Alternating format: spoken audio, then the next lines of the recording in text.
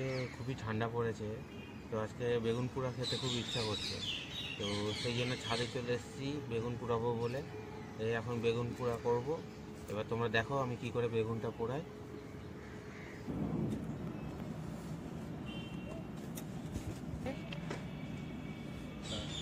তাহলে উনুনটা ধরিয়ে নিচ্ছি, বেগুনটা পোড়াবো বলে। বেলাও হয়ে গেল অনেক, এবার বেগুনটা পুড়িয়ে নিতে হবে। একটু কেরোসিন তেল দিয়ে নিই নাহলে আগুন জ্বলবে না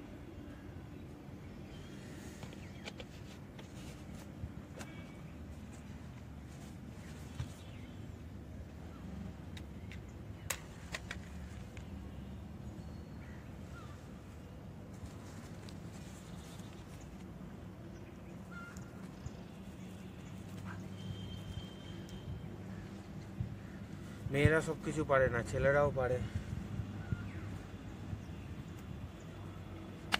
তাই তো বন্ধুরা?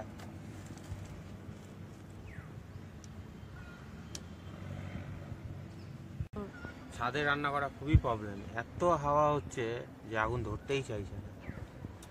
দেখি আগুনটা ধরে যাক, তারপরে দেখাচ্ছি আমি কত সুন্দর আগুনটা ধরাতে পারি। দেখো বন্ধুরা, কত সুন্দর এবার আগুনটা ধরে উঠেছে।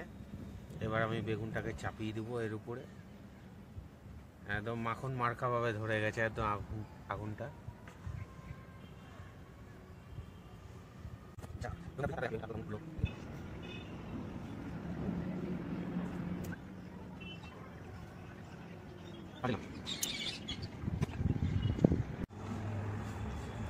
দেখো কত সুন্দর আগুন ধরে গেছে। এখন অপেক্ষা করছি কখন হবে।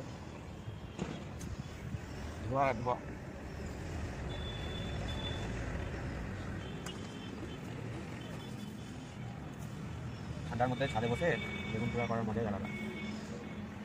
তাও আবার উনুনে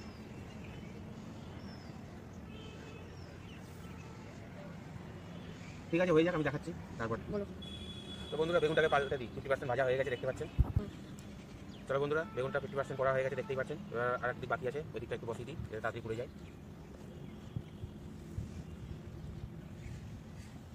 কে কে খাবে তাড়াতাড়ি কমেন্ট করে বলো।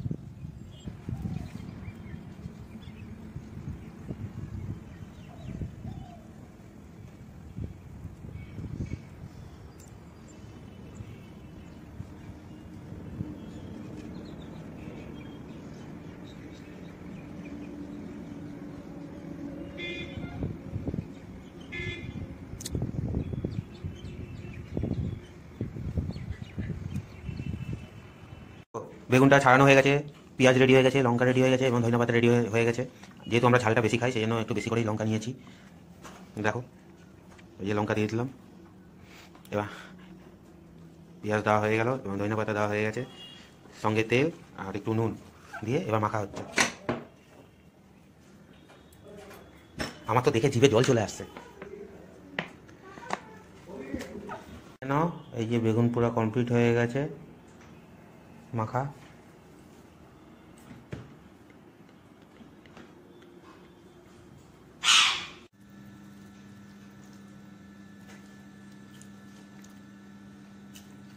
বন্ধুরা, বেগুন পোড়াটা খুব সুন্দর হয়েছে খেতে।